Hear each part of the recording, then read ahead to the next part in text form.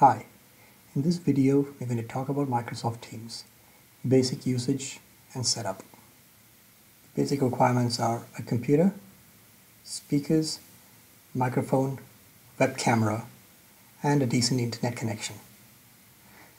Let's open up the Microsoft Teams application and sign in using our work or school account.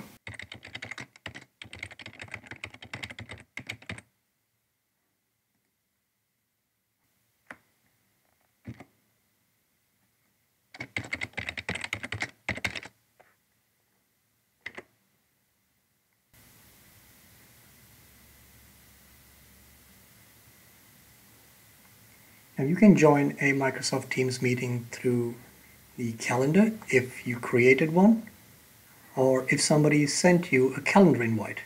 Let's try joining a Teams meeting through a calendar invite.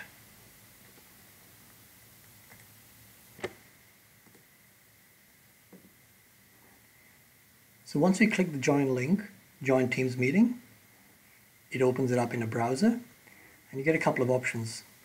The first one says the site is trying to open Microsoft Teams and because it's detected that there is an application on your computer, it tries to open it. The other one is if you don't have the application, then you get the option to download the Windows app. Or if you don't want to download the Windows app, you can join it on the web instead. But I must inform you, the Windows desktop application has a better set of functionality than the web. There are limitations on the web version of Microsoft Teams. Let's click on open. So once you click join, this is the window you get. And before you join, it's always good to test your microphone, headphones, and web camera before you proceed. Let's click on the settings or the gear icon over here and have a look at what our options are. Under audio devices, I can see that I have a couple of audio devices over here and I want to select Realtek high definition audio. Under speaker, now these now these options are specific to my computer. You need to see what you have available. Under speaker, I'm going to use what I have. And under microphone, I'm going to select what I have again over here. And under integrated camera, you can select if you have more than one webcam, you can select the best one that you have there. Before we proceed, let's make a test call and see if everything is working. To test your call quality, record a short message after the beep. Then your message will be played back to you. This is a Microsoft test meeting, one, two, three.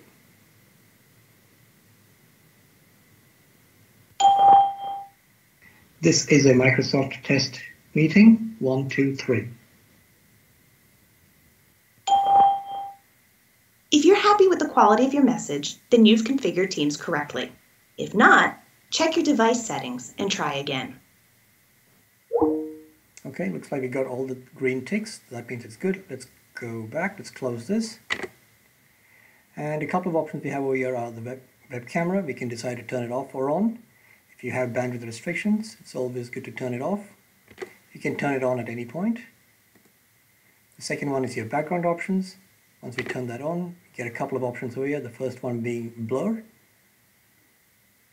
And the others are different scenic backgrounds which Microsoft have now made available. For example, let's select one of these. You can see that the background has changed. It's always good to face the camera straight because the moment you have your face turned, it tends to cut a few pieces of your face, which is very weird. The next option is your microphone. You can decide to mute your microphone before you join a meeting or you can have it turned on. My recommendation is if you're joining a big meeting with a lot of attendees, it's good to always mute your microphone so that your background noise is not broadcasted broadcasted to, to everybody. You can turn it on at any point or if you want to speak, you can turn your microphone on at that point. I'm going to turn it off now.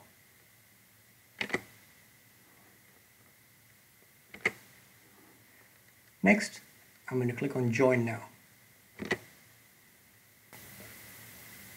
Right, now, in my, now I'm in my meeting room and a couple of options that you can again see are, you can see the timer, you can see the camera on and off, I can decide to turn it off.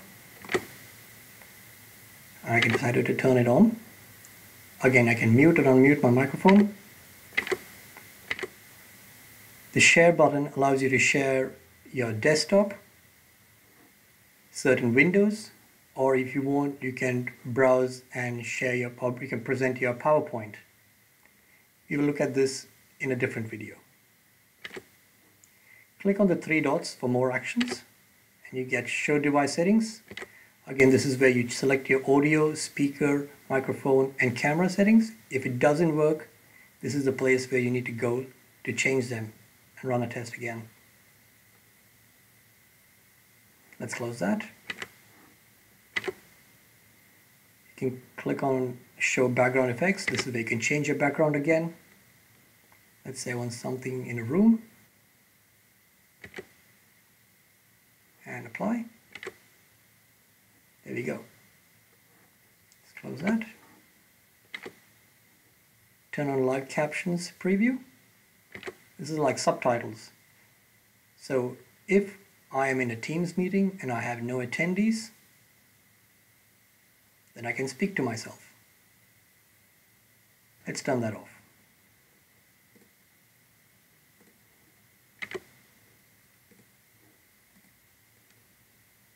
The organizer of the meeting can also start a recording of the meeting and the recording gets saved in Microsoft Streams.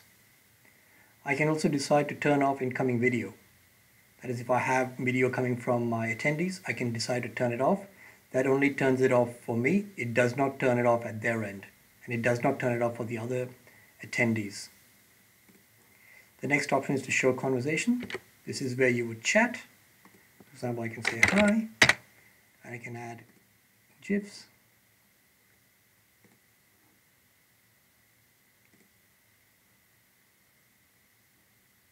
and your attendees can participate in instant messaging over here as well.